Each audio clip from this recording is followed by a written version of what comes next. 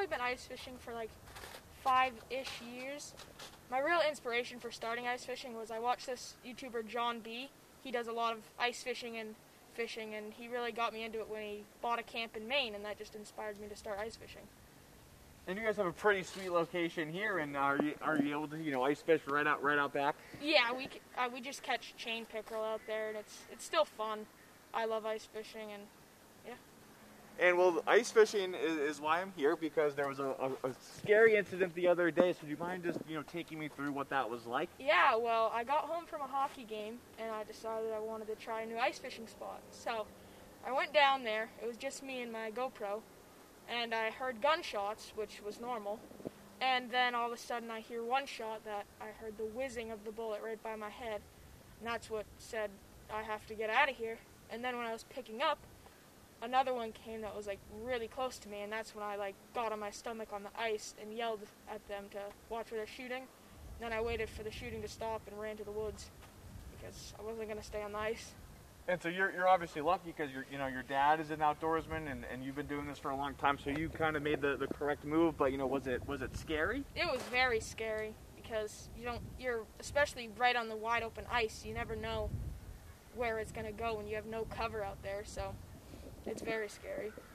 And I know um, you know you, you said you really weren't surprised because there are kind of you know shooting out there. And w- what was it like you know for you being kind of a, a junior outdoorsman to kind of see people or well actually literally hear people you know not really paying attention on where they should be you know shooting or hunting or whatever tho- those folks were doing.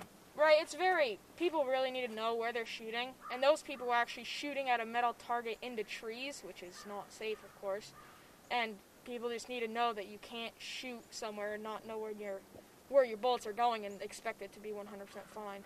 Because there's also houses over by where I was fishing, so they gotta know where they're gonna shoot.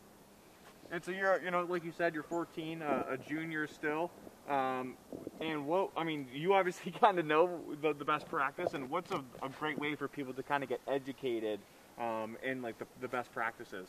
Well, you you gotta know your gun safety, and I think you can just find those like rules and just practice it in a safe location, especially at Pickerel Pond where they have the big shooting range that has berms on all sides, so it's protected from anybody getting hurt, and that's a good way to practice. And you can't go out there shooting without having practice and think that you're gonna be a pro at it.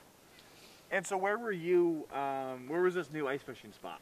It's actually right near my house. It's just down the road, and it's just behind somebody's house who I know. And I asked them if I could cut through their yard and try a new fishing spot, and I did. And the one day I do that, it turns out to be something bad. So That's right. Well, Avery, the last thing is there anything else um, that you would like to add about, you know, the uh, the event? Actually, when when did this happen? it happened on Sunday. Okay, on Sunday. So is there anything else that, that you want to mention about that event or maybe some advice for, for people that are, you know, just shooting in the woods and not really thinking twice about, you know, if they miss their target or miss a tree or something? Yeah, I just think people really need to have a secure backstop so their bullets can't ricochet and just go all over the place, and they they just really need to know where they're shooting because something could happen to somebody else just like it happened to me.